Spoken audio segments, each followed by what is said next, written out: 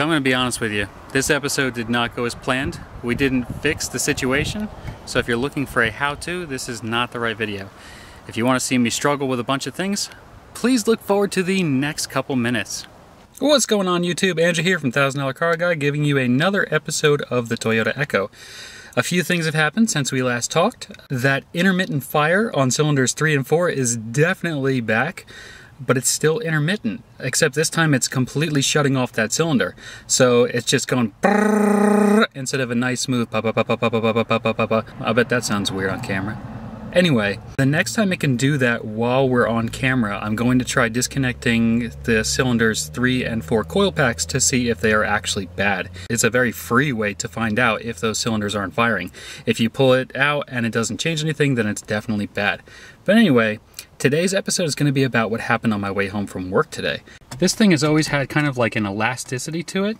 When making a left-hand turn, it was always like, imagine having a rubber band on it, so it kind of get tighter and then spring back, if you will. So ding, ding, ding, ding, ding, ding, ding, ding.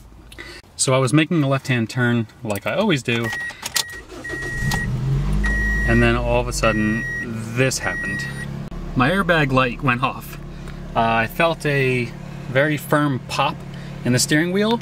So I'm guessing that behind here and underneath the shroud somewhere, we're going to find a disconnected wire that was actually for the airbag.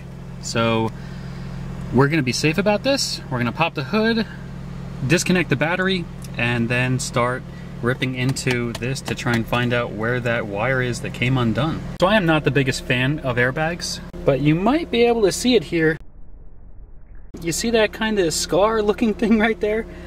When I was a younger driver, the airbags deployed in a low speed collision and ended up burning the skin off from my wrist to my elbow, and that's how it grew back, kind of grafted around.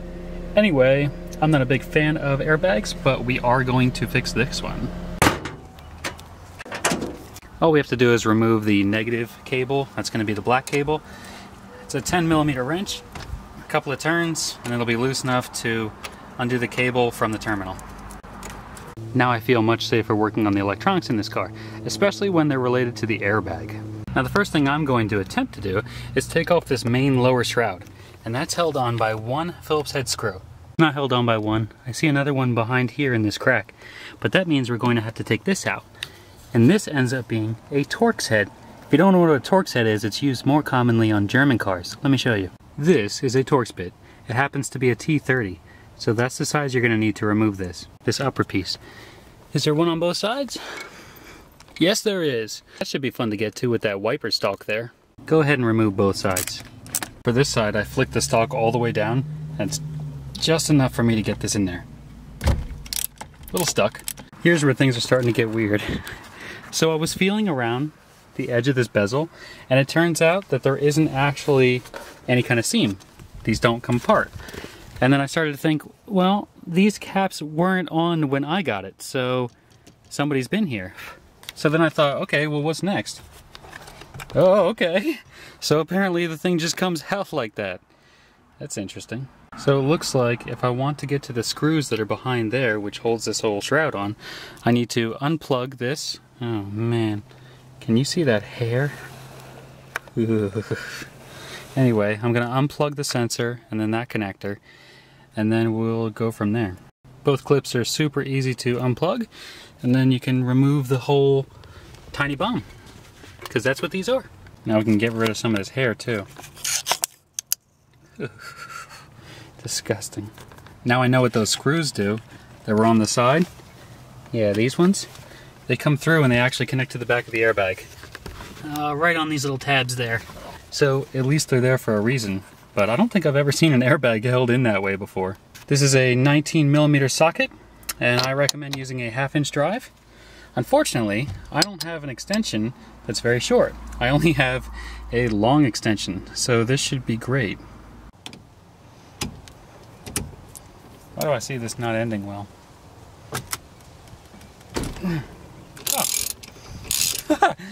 That was much better than I thought was going to happen.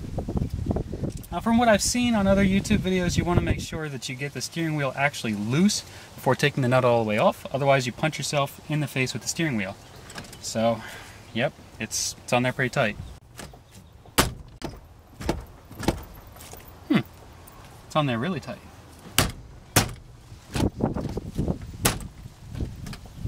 Really, really tight. Hey, we got it. Okay, so now we can take the nut all the way off. Quick go change-o. Let me show you those Phillips head screws you couldn't see before. Easy to see those two Phillips head screws now. Let's go ahead and take them out. Now that we got both the screws out, the plastic should just separate. So even though I had the steering wheel off, I was checking everything to see there was any kind of broken wires or torn anything, and there wasn't. And the only thing I can think of is that it's not actually in the wires themselves, it's in the assembly that's behind the steering wheel. So this piece allows an electrical connection to turn uh, inside of the steering wheel so that, you know, as it moves around, it can still make contact. So there's a few of these little tabs all the way around. Uh, once you get it in the right order, the whole thing kind of comes off. So I'm guessing what went wrong is actually inside of this piece. So around this whole assembly is a series of clips.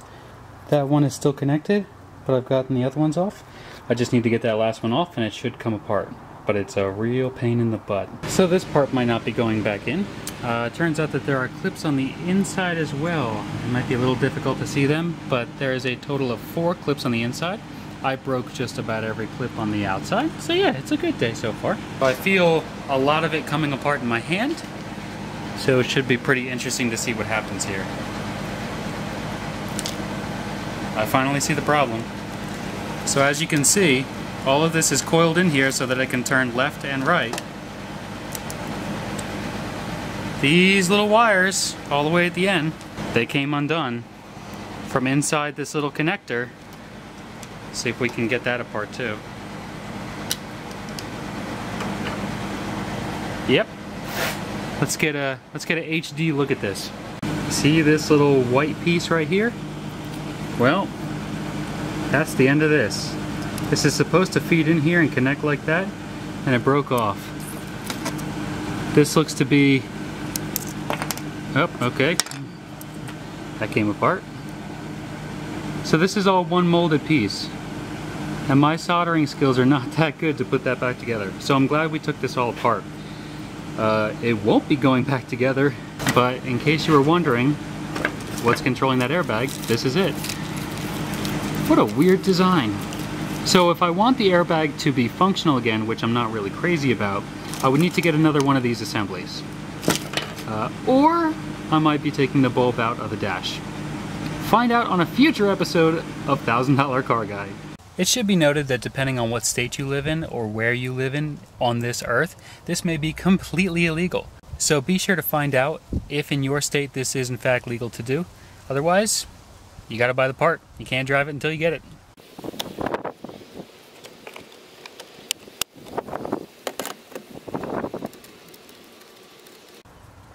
This ridiculously long extension a lot of times, whenever I asked about how tight I should make things, the answer was always, How much do you not want to die? So think about that when you put your lug nuts on next time.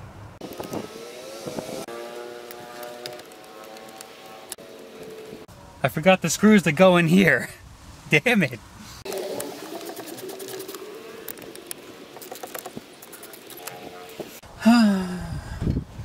Take the steering wheel back off.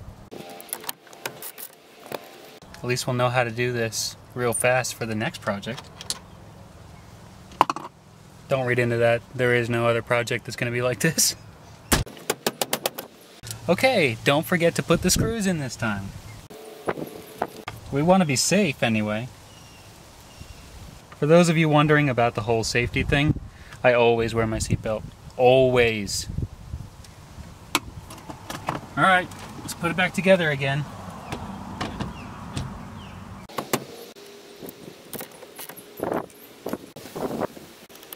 If any of you are wondering if this went how I expected it, not at all.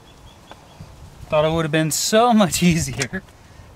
Thought we were just going to find one of these wires stripped out or ripped out of its own little pin connector But no, we had to be difficult. One of these things is for the horn.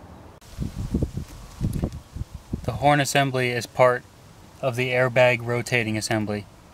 That makes sense. This is certainly not turning out to be like a big cluster. I guess we should connect the car back up to the ground and find out if everything still works. One positive is I don't have to worry about the airbag going off my face or my arm. Ooh, sparky sparky. Okay, I'll connect it back up. Well, that still works. That's going to wrap up this episode of $1,000 Car Guy. I hope you found this somewhat entertaining because it certainly wasn't informative at all. Anyway, thanks for watching. Uh, I'm sure there will be more episodes coming soon. See you there. I suppose if I just buy another one of these, I'll be all set.